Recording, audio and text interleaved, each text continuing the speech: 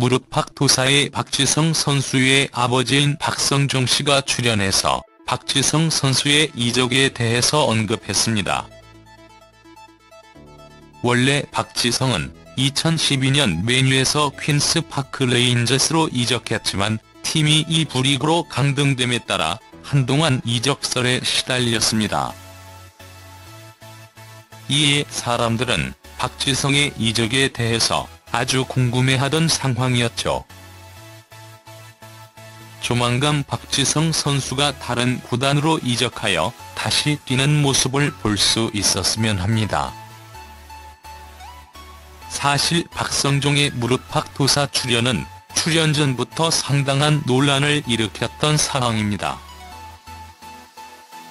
유명 축구 선수의 아버지이지만 일반인인 본인이 과연 그런 프로그램에 출연할 자격이 있느냐 하는 문제였습니다. 이런 교육법을 공유하는 자리라면 박성종 씨 역시 충분히 자격이 있어 보입니다. 그런데 박성종 씨가 이런 프로그램에 나오는 것은 논란을 일으켰던 것은 단순히 이런 자격 시비만이 아니었습니다.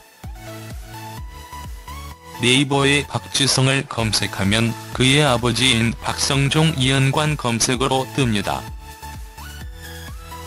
아무리 유명 스포츠 스타라고 하더라도 일반인인 부모의 실명이 이렇게 연관 검색어로 뜨는 경우는 극히 드물죠.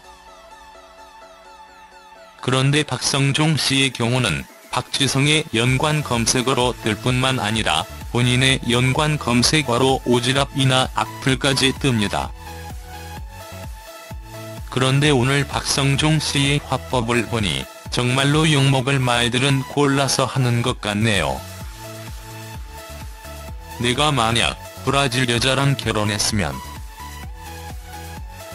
펠레를 낳았을 것이다.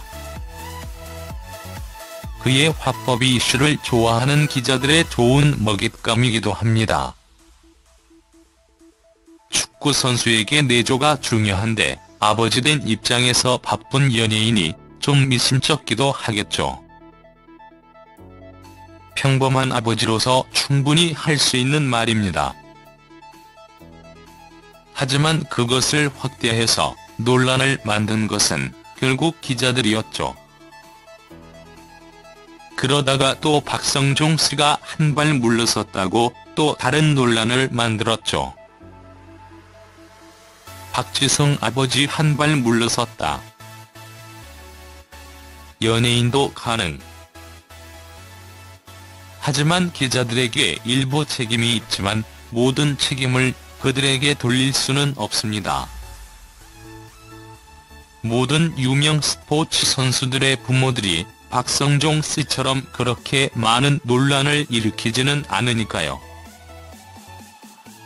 박성종 씨는 옛말 말 많은 집은 장맛도 쓰다. 와. 혀 아래 도끼 들었다. 쌀은 쏟고 주어도 말은 하고 못 죽는다. 새치허가 사람 잡는다. 등의 속담을 되새겨야 할 것입니다. 박지성 선수가 잘 되라고 하는 말이 화살이 되어서 그에게 꽂힐 수도 있으니까요.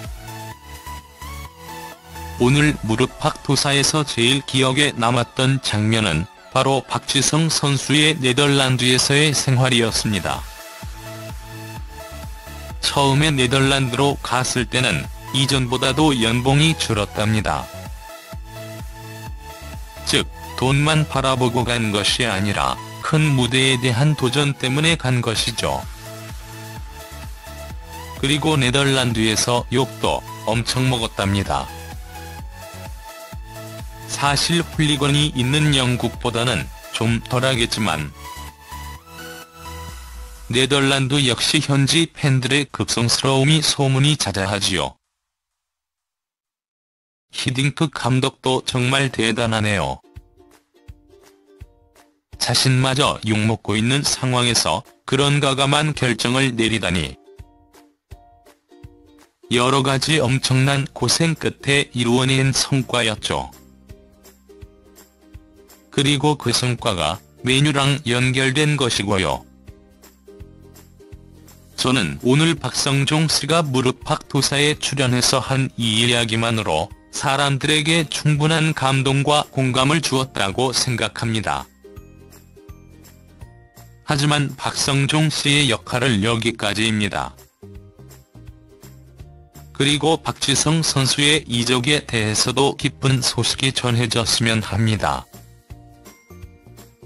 이제 선수 생활을 마무리해야 할 시점이니 박지성 선수가 이적을 통해서 꼭 좋은 팀에서 화려한 피날레를 장식하기를 바랍니다.